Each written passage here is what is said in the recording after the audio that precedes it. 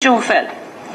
În plus, vă mai spun ceva. Mă uitam astăzi pe anunțul pus pe Facebook de către Alina Gorghiu în ceea ce privește întrunirea noastră de astăzi. Faceți exercițiu să citiți comentariile. În cea mai mare măsură se rezumă la panorame nenorocite. Ce vreți? Nu vă ajunge că vă culcați cu șefii voștri ca să ajungeți în politică, acum vreți să fiți și mai multe. Despre mine și despre altele de vârsta mea, ori de câte ori avem o poziție publică, epitetul nu e panoramă, este babă comunistă. Da?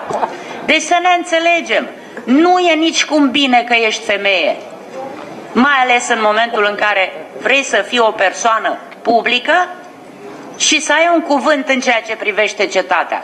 Dacă ești tânără și arăți bine, ești de moravuri ușoare și ai ajuns într-un anumit mod în politică, dacă ești în vârstă, ești o babă comunistă expirată, du-te și fă-ți ca vouă. Cam așa, ăsta e mesajul.